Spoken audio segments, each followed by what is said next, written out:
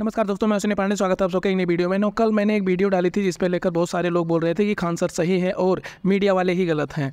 अब आप आज देख लो कि खान सर की कोचिंग सेंटर पर ताला लग गया और खान सर ने बहुत सारी वीडियो में खुद ये बात कबूल करी है कि मेरे क्लास में इतने बच्चे होते हैं कि वहाँ बैठने की जगह नहीं होती है। आपको हम आज एक क्लास का वीडियो दिखाते हैं। क्लास में लड़के कैसे बैठे रहते हैं।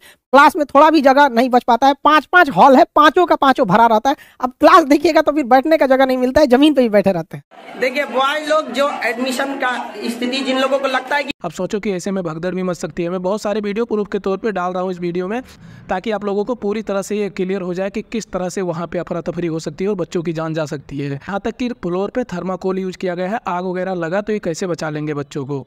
जब आप ऐसे तीस चालीस हज़ार बच्चों को लेकर जा रहे हो एक बिल्डिंग में या आसपास के एरिया में, बीस हज़ार भी लोग हैं तो भाग नहीं सकते हैं, बहुत सारे लोगों की जान चली जाएगी। प्रूफ के तौर पे आप देख सकते हो कि किस तरह से ताला लगा दिया गया है। जब एसडीएम गए थे वहाँ पे तो उन्होंने दस मिनट तक उनको घुमाया, फिराया। खान सर मिले ही नहीं, उनके जितने भी और बॉडी वगैरह हैं और अन्य कार्यकर्ता हैं, उन्होंने उनको इधर उधर घुमाया, ऊपर नीचे किया सीढ़ियों के। ये जो न्यूज़ है, ये लल्लन टाप ने ही रिपोर्ट करी है। एक ऐसी मीडिया ने रिपोर्ट करी है जो ज़्यादातर सेंट्रिस्ट है।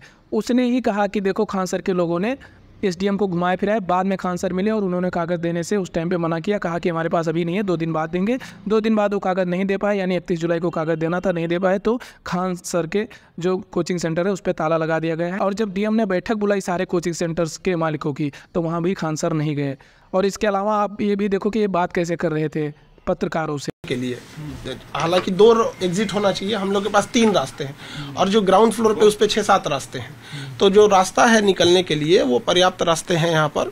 बाकी आप लोग ने देखा होगा कि तीन रास्ते मेनली निकलने के लिए पर्याप्त रास्ता रहना चाहिए कि इमरजेंसी के टाइम पे कभी भी क्या होता है ना कि एक अगर रास्ता रहेगा ना तो इमरजेंसी में प्रॉब्लम आती है। तो हम लोगों ने तीन कहीं पाँच कहीं सात इस टाइप के रास्ते रखे हैं। वेंटिलेशन होना चाहिए। वो चीज़ें तो नज़र नहीं आई। थर्मोकॉल थर्मोकॉल का फ्लोर पे इस्तेमाल किया हुआ है। वो चीज़ें देखिए वो तो डेंजरस हो बड़ा सकता नाम है है खान सर आप तो बहुत बड़े नाम है काफ़ी पैसा कमाया होगा फिर भी ऐसी व्यवस्था। हम अवेलेबल करा करा देंगे। आपको। इंफ्रास्ट्रक्चर आपको नहीं लगता है कि थोड़ा और दुरुस्त करना चाहिए। आप लोग अपना इंफ्रास्ट्रक्चर आप लोग उसको महल की तरह सोचिएगा तो क्लासरूम और महल में अंतर होता है। महल जैसा पैसा भी तो लेते होंगे आप। आप पहले पता करके आइएगा कितने पैसे लिए जाते हैं ठीक है? आप आप इंटरव्यू लीजिए इंटरोगेशन नहीं। ठीक है?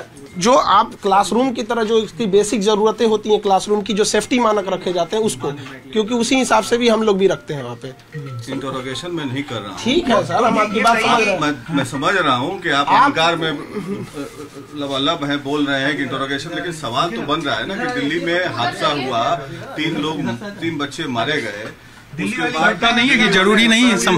क्या आपको लगता है बिल्कुल होना चाहिए मीडिया वाले बिल्कुल सवाल ज़रूरी है लेकिन आप लोग की बात एक बात बताइए आप जो कह रहे हैं अहंकार से भरे आप लोग बोलिए कि ये घटना जब होती है तब आप लोग ऐसे दौड़ जाते हैं। आप लोग की भी रिस्पॉन्सिबिलिटी बनती है एक बार दिल्ली में घटना से पहले आप पाइप चेक करने आप लोग की टीम गई थी वो अचानक तो पाइप नहीं टूटा होगा। अपने लोगों को अंदर आने भी नहीं देते। हैं